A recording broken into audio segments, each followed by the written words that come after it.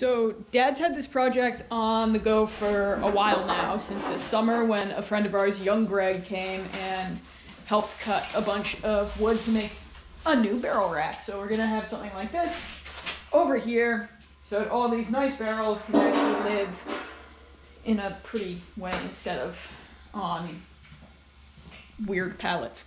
Um, and we'll be able to fit more in here as big plus. big plus.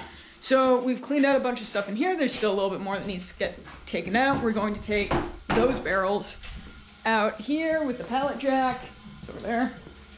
And they're gonna live behind where normally our register is here. They're gonna live back there for a couple days while we build the rest of the um, the barrel rack. So here we go.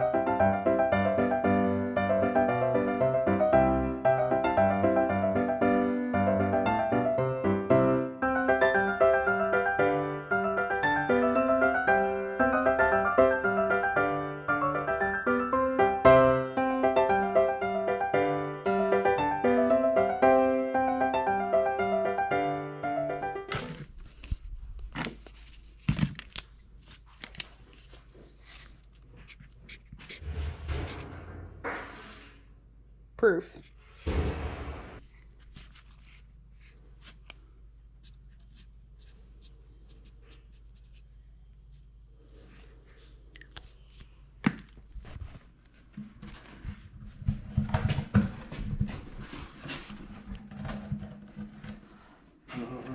Okay, how don't want to?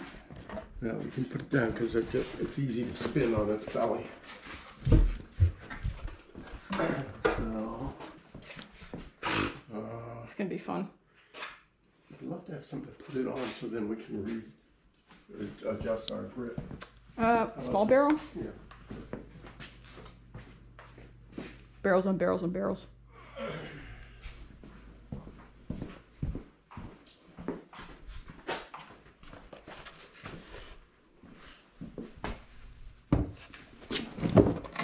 I think that's okay, or do you wanna? little bit more that way. That's good. Do you wanna come and end up like this? Yeah. Okay. This one's got a nice lip on the inside. right. I'm gonna adjust and then we'll move towards. it. Yep. Okay.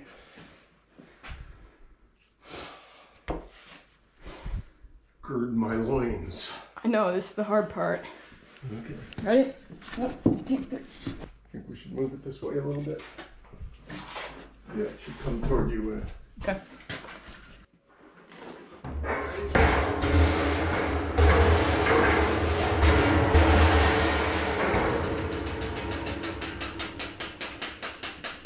Cool. okay, your uh, piece of tape with the proof on It's it. over there. Put it on the end of the barrel. Do you want any other information on it? Yeah, uh, I would love to have other information, but I don't know. How, you know, I'd love to know how many gallons were in it, but I don't really. I'd love to know. That would be another little project for us is to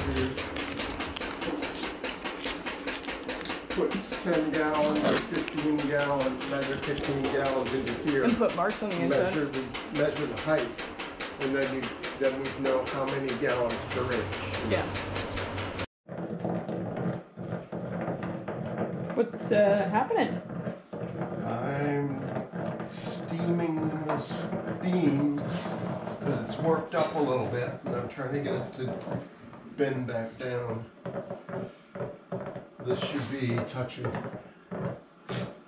Just a normal closed steamer. See if it works. So, because we were proofing down yesterday, instead of um, finishing up the barrel rack so that we could get the, the alcohol back into these barrels, we uh, we kind of stalled on the project and we just haven't done as much on it as we want. Plus, we need to give this another chance to to sink a little bit more so that we can, you know, get everything lined up correctly, and so we don't have a wibbly barrel rack. Proofing is kind of a long process for us because it's uh, at least when we're talking about these volumes. Like, hopefully, when we do this better, we'll do it better in the future and it won't be as time consuming. Um, but pumping out all of the liquid takes a while, and then pumping it back in, and then measuring out and doing all the math to figure out how much water we got to add to get it down to the proof that we want. Turns out there's a lot of math, and I'm a little bit upset about it.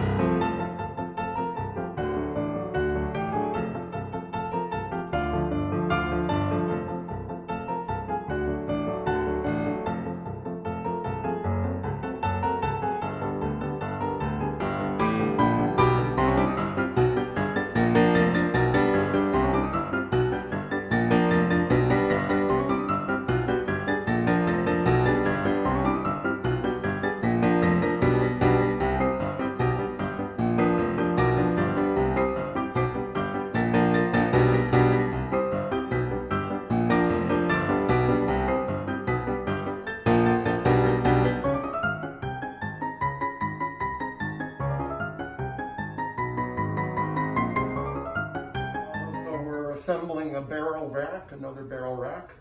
Uh, this is made of black locust that we harvested here from off the property here and milled here on the property. We cut four by fours for the barrel rails. We cut two by sixes for the uprights and the crossbar of uh, the diagonals. And we cut two by fours here for the spacers. Um, we, when we started the video, we had the two bottom layers on.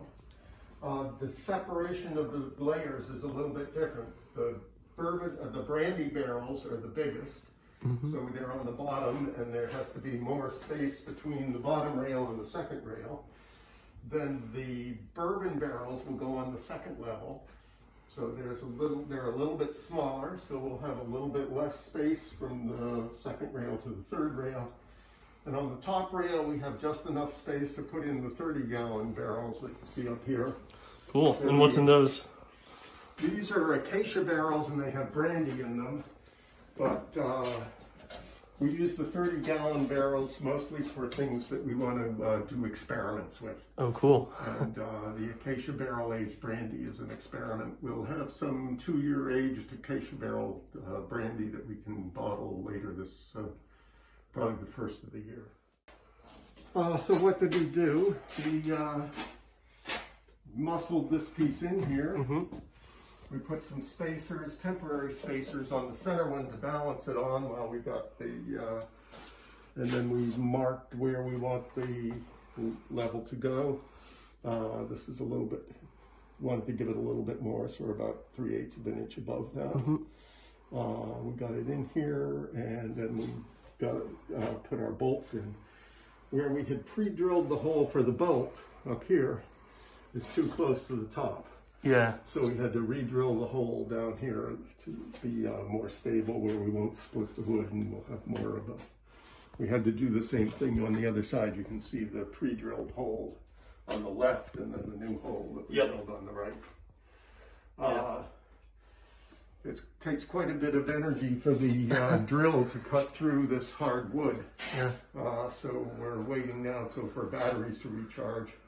And then we'll do uh, bolts on the center uh, uprights and on the this end upright. Mm-hmm. And then it will be time to put in the diagonals. Uh, Yeah. You can see how the diagonals work over here. These. To keep it from uh, keep it from uh, racking. Well, it's a rack, but they also call it racking when something goes out of uh, out of out of square. Yeah. All right. Well, there's always more to do. What are you doing, Graham? Uh, screwing in the last bolt. The Um, last bolt on our barrel rack. Yeah. All right, go for it.